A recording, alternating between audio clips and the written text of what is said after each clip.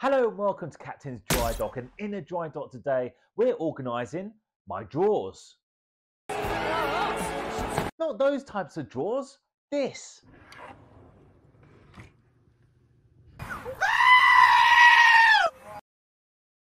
Let's make it real. No, don't minimize the screen. Hear me out. I know it's a boring subject about drawer organization, but trust me, I'm trying to plan to make this drawer as accessible as possible because we all have the common issue. We throw stuff in our drawers and it takes us ages to retrieve the thing that we put in there in the first place, let alone even finding it. And so I want to make it look actually cool as well. Step one, the important step. I need a drawer in the first place. Now, I went online and I could not find a suitable size drawer for my IKEA desk. Now, you can get plenty of little ones, but I wouldn't be able to fit all my stuff in. So I wanted a big, big drawer. However, I did find one on Amazon. However, the company that makes that and sells that are based in the USA and it just would cost too much money to bring it over the Atlantic Ocean. So I just had to make one myself. Now, I'm not going to go into too much detail how I made the drawer because it's very straightforward. It's just a box made out of MDF and plywood, all stuck together, screwed together for strength, and the only thing that I needed, which was specialized, was the runners either side to get that nice smooth action in and out from the desk, which made it really usable. And those I got from Amazon. The link is down below if you want to get a pair yourself. First, I lay out only the key tools that I regularly use. This is where I have to be ruthless and I make two categories. Items used daily or at least a few times a week and items that are used a few times a month or very rarely. So what happens to items that are seldom used? It goes into the attic where it's lost forever. And then years later, you buy exactly the same thing because you forgot that you had it in the first place. Because it's in the attic.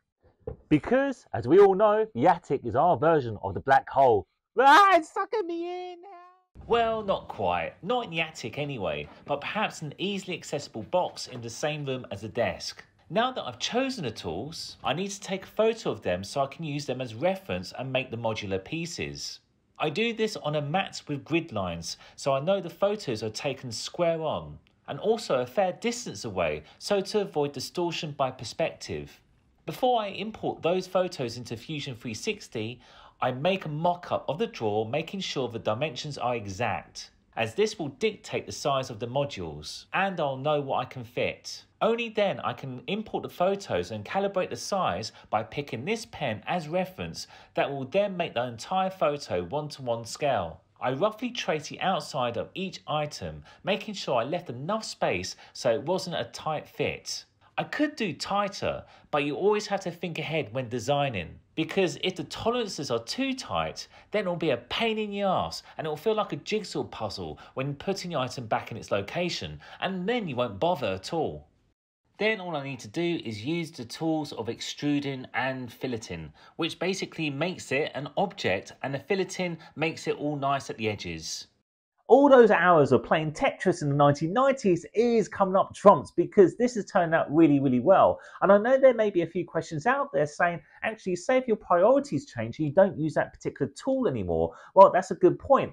That's why it's in components, meaning it's interchangeable. Let's just say one day I wake up and I don't want to use my tweezers anymore. I hardly use them. Well, I'll just take that out, redesign something else that goes in its place the same footprint and pop that in. Bob's your uncle, Fanny's your aunt, it's future proofed. The design element is all done and now it's time to print. So I've opened up my Cura, which is a slicing software for my 3D printer, and I've popped in one of the components and it fits on the bed very well, so it can be printed in one go. Let's go printing. For this project, I'm going to be using my Ender 3 filament printer with white filament, not just because it's a color or shade that I like, but it hides a multitude of sins. If you have 3D filament printed before, you'll know you get the texture of a vinyl record because of the layer lines. It takes forever to sand it down, paint it and make it look half decent. Well, I can't be asked to do that at the moment, so I'm going to be using whites because it reflects light in a different way and it looks absolutely fine after I've printed it out.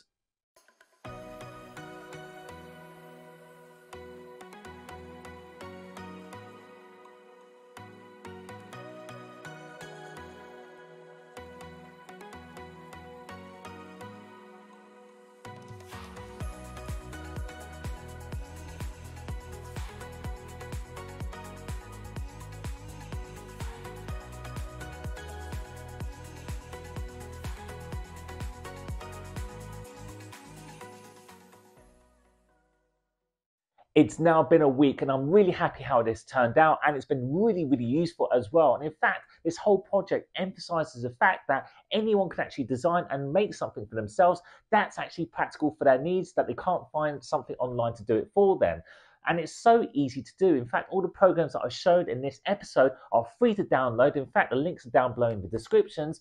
And other than the 3D printer, which is your only big cost, after that, it's super cheap to print out. That roll of white filament you saw there only cost me 14 quid. And in fact, I probably only use about four to five pounds worth to actually make all the components you see here today. I really hope you enjoyed this episode today. It was really useful for me to actually do this project for myself, but hopefully you get something from it. If you've got any questions whatsoever, leave a comment down below, give a like, and subscribe if you haven't already done so, and I would really appreciate that. In the meantime, my name's John Child. This is my really cool drawer, and I'll see you on the next episode on Captain's Drydock. You take care.